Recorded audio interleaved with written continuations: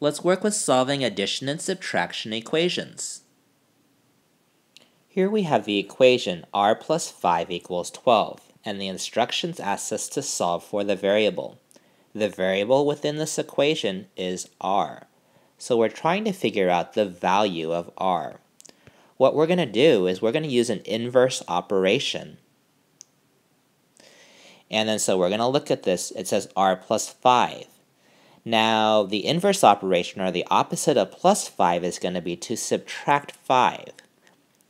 And then so I will rewrite this equation, but I'm rewriting the equation where I'm going to subtract 5 from both sides of the equation. So I've subtracted 5 from the r plus 5, and that's r plus 5 minus 5. And again, I have to subtract 5 from the other side of the equation as well. And then so that's rewritten as 12 minus 5 r plus 5 minus 5. 5 minus 5 is already 0, so I'll rewrite the left-hand side of the equation as r plus 0. 12 minus 5 is 7. r, and if we just add 0 to any number, like r, we're just left with r.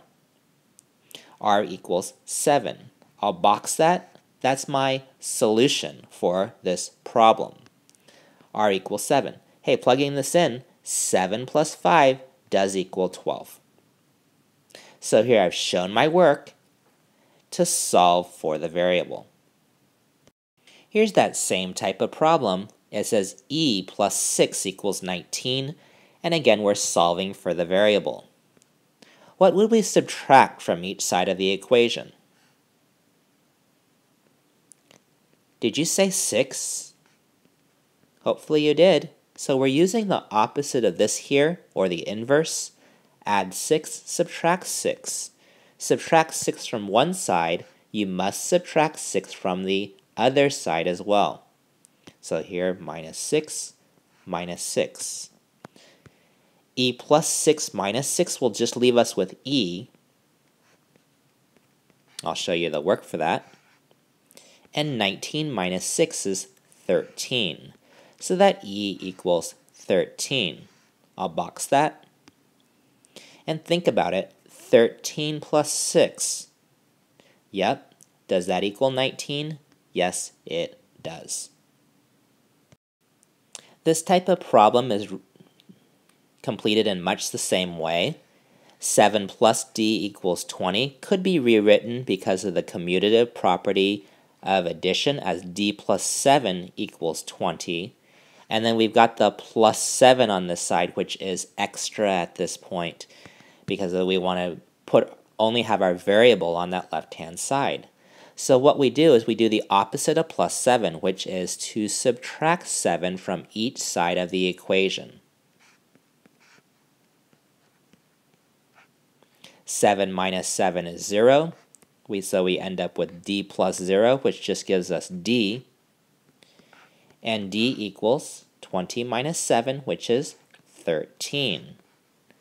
Looking back at that original equation again, 7 plus 13, does it equal 20? Yes, it does. If I needed to show my check, I could. I put a question mark over the equal sign. I plugged in that value of 13 for D, so it says 7 plus 13 equaling 20 and I evaluate each side so that 20 equals 20, and that's a check mark. Shown check. That's my check work. This is my solution. Alright, it's your turn. Go ahead and solve for the variable. There are two variables to solve for. Do one problem at a time. Please show your work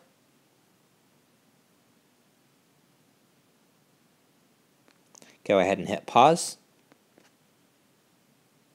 Remember to show your work.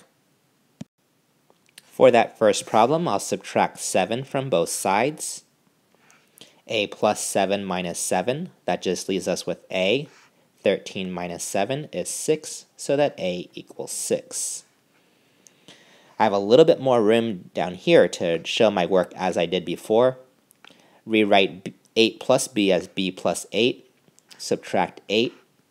What I do on one side, I must do on the other as well. And then so I have 20 minus 8. b plus 8 minus 8, 8 minus 8 is 0, so that's b plus 0, which just leaves us with b, and b equaling 20 minus 8, which is 12.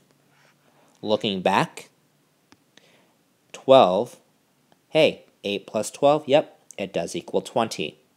Looking back, 6 plus 7, yep, it does equal 13.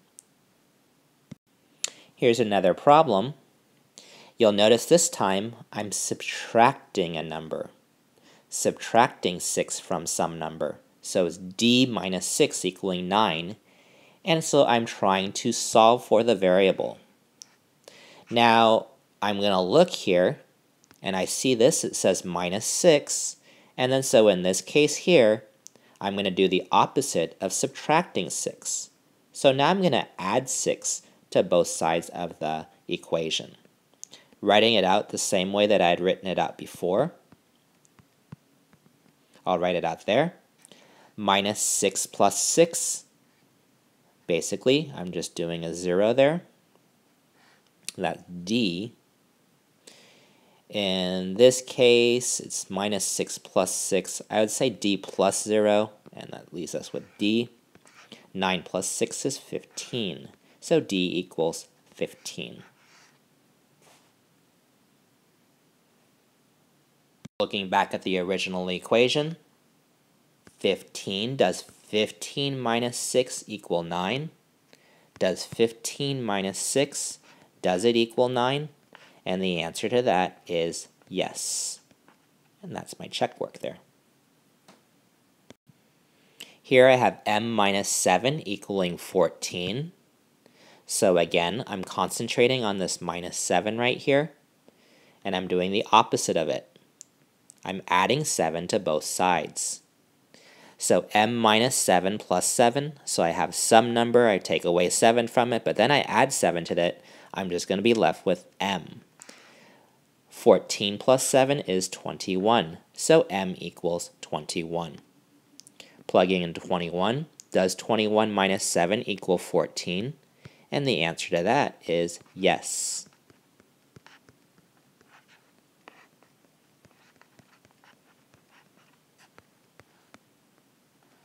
Here I'm showing that work for my check. This here again is my solution for that variable. Okay, it is time for you to try again. Remember for that first one, let's go ahead and, and do the opposite of subtracting 9, let's add 9 to both sides of that equation. Go ahead and hit pause.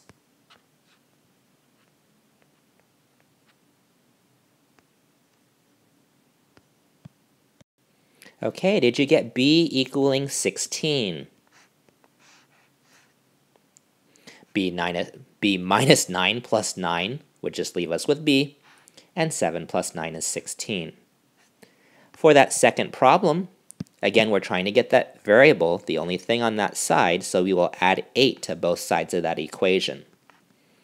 3 plus 8 is 11. r minus 8 plus 8 just leaves us with r, so r equals 11. Looking back at it, does 11 minus 8 equal 3? Yes, it does. Please don't get confused if we see the variable on the other side of the equation. We just concentrate on what we can do. So this says minus 9. Minus 9, that means we add 9 to both sides of the equation. I write it out there. C minus 9 plus 9 leaves us with c, and 6 plus 9 is 15. So that 15 is equal to c, or c equals 15. That's our solution. Does 15 minus 9 equal 6? Yes. Lastly is this. If we see a problem like this here, it says 8 minus 2 equals d plus 3. The first thing that we'll do is we'll simplify anything that can be simplified. And it can be evaluate 8 minus 2 to get 6. And then so now we are left with a problem here where it says 6 equals d plus 3. Again, I want to isolate the variable, meaning I want to go ahead and have the variable it's alone on one side. To get rid of the plus 3, I go ahead and subtract 3 from both sides of that equation. 6 minus 3 leaves us with 3. d plus 3 minus 3 just leaves us with d. d equals 3. Looking back my original equation, 3 plus 3 is 6, and 6 equals 8 minus 2, which is also 6.